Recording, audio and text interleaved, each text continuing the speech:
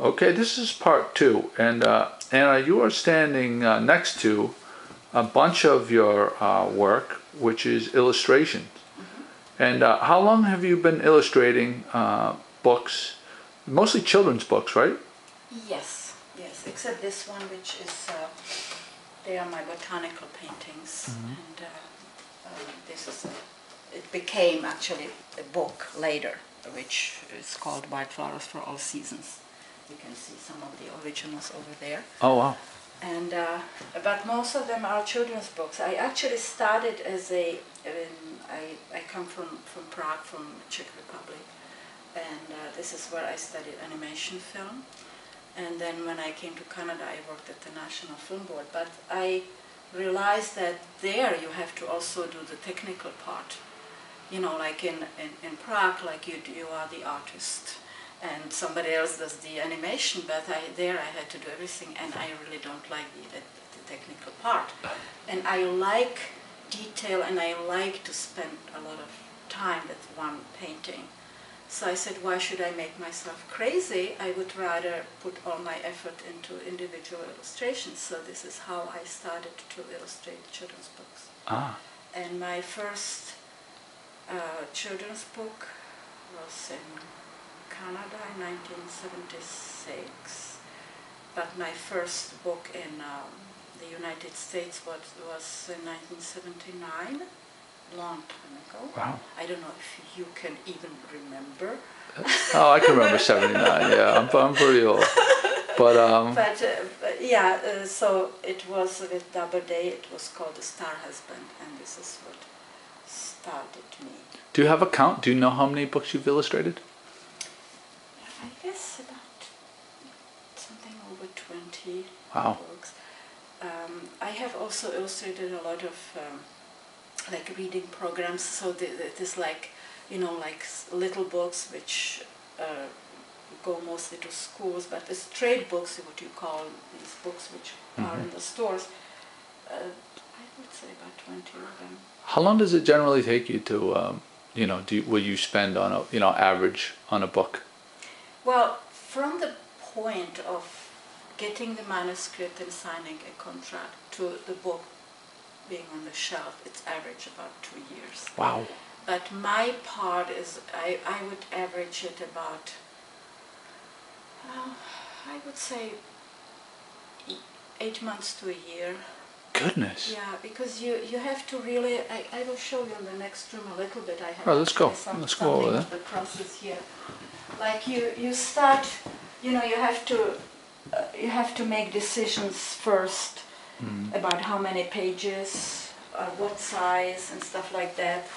Um, you know, it's also calculated by, by uh, the, you, know, the, the, the, um, the sales department, like how much can they invest, and so so it's not as as free, you know. It's uh, you start somewhere, and uh, then uh, you go through the process. You Are these all originals? these are all originals, yeah, Wow.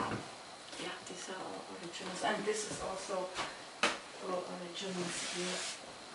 My goodness. Yeah, and then you know, then you communicate with the publisher on this level, like on the sketch level. Oh, I see. you Okay. know, and then you have to work out all the details also uh, placing of the text and everything has to be worked out in this stage.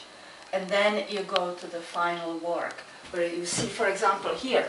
You can see here this is what the text will be.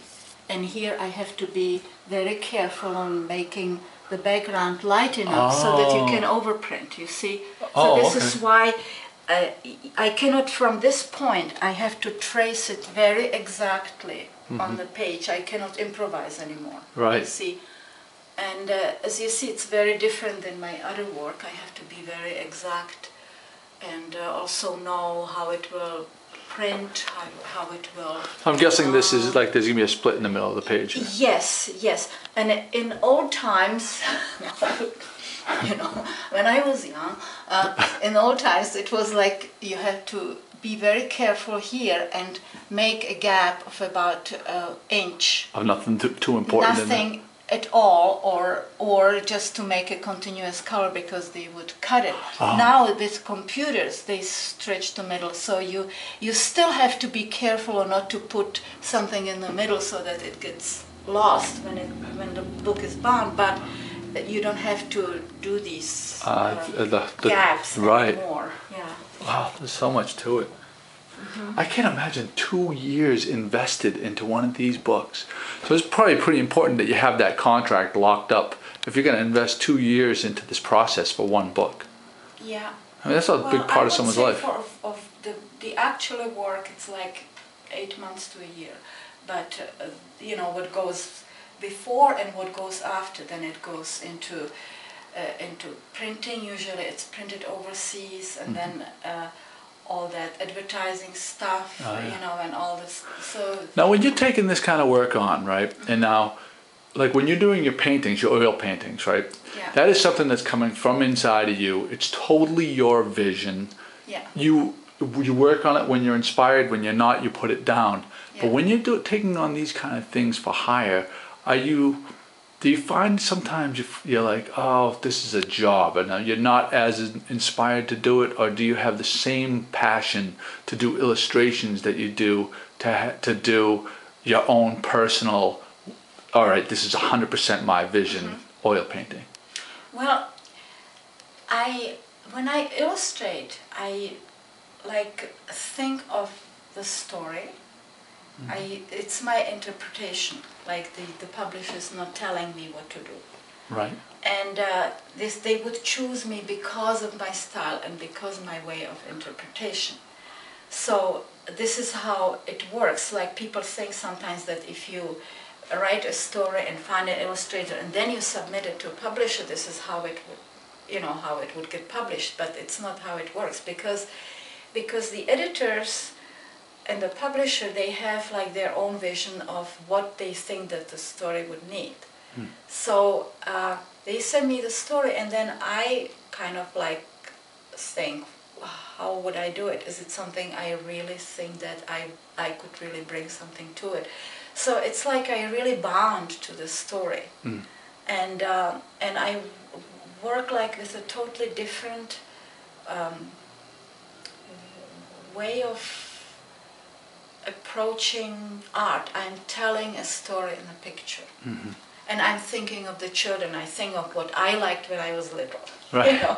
Yeah. So, uh, so I like these little magical things, you know, and something you can recognize, you know. right yeah Um, like your little mouse and he's hanging out there and your ladybug and, and the birds and they're chasing after things and, yeah it's beautiful wow it's, it's i mean it's it's a life's work i mean if- so you got started when you were pretty young Well, yeah, you know, like in in uh, my country, you you do start pretty young. Like I went, I actually started toy design since I was 14 years old. You, you have uh, professional schools which are on on uh, the level of high schools.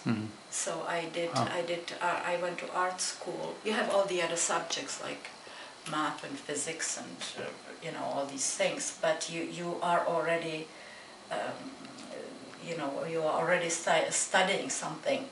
can you take me to where you create where you create where your uh, where your where your painting is and everything your your workspace Uh, yeah, my illustration work space is right here, where you have that messy corner here, and I can look right at your.